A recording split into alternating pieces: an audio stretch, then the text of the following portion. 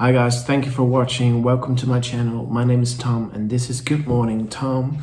Um, so I've just been hanging around at the house, just living in my cozy sweater and um, I have been reading.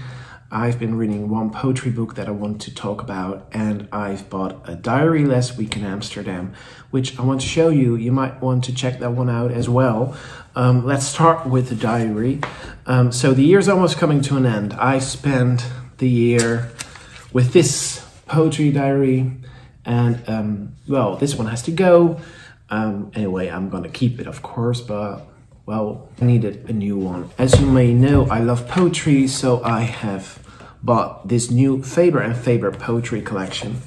Uh, the Liberty Faber uh, poetry diary. It has this sticker on the back. Yeah, which says the Faber poetry list, originally founded in the 1920s, was shaped by the taste of T.S. Eliot, who was its guiding light for nearly 40 years.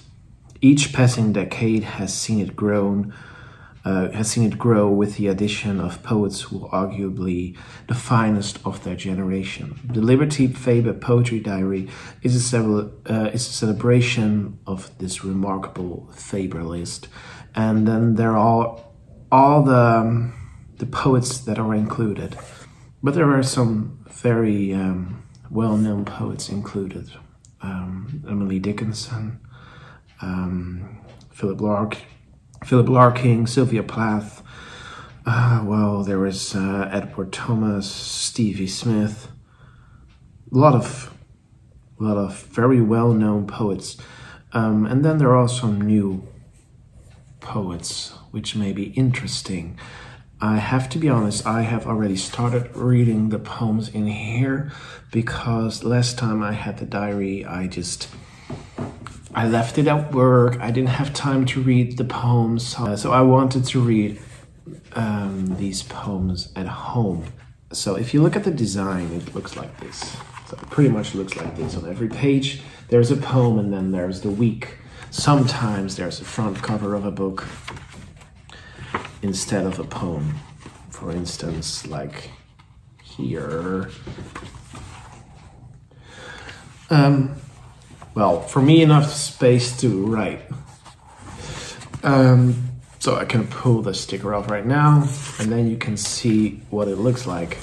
This is the front cover, which is beautiful hardcover. And this is the back. Of course, you can take that like this. I don't know if you're interested, you might want to check that one out. Of course, I could not just buy a poetry diary, I also had to buy a book. So I bought this book, which is not new, it's from 1963. It's from Louise MacNeice. I don't know if I pronounced that correctly. I think it's Louise MacNeice. Um, and it's this one. I'm reading it right now, as you can see at the bookmark. I'm halfway, I'm halfway. And so far, it did not feel outdated. I quite liked the poems. There were two poems that I really liked. One of them is called Another Cold May, and the other one was After the Crash. Um, the last few lines of the poem. Then he looked up and marked the gigantic scales in the sky. The pen on the left dead empty, and the pen on the right dead empty and knew in the dead, dead calm it was too late to die. So that's that. Anyway, um, you might want to check that one out as well. So, this is my agenda for the new year, and I want to thank you for watching. If you like this video, if you like poetry, if you like vinyl, I don't know, uh, you might want to subscribe to my channel. Hope to see you in another video, and I'm wishing you um, a lovely day or night. Thank you for watching.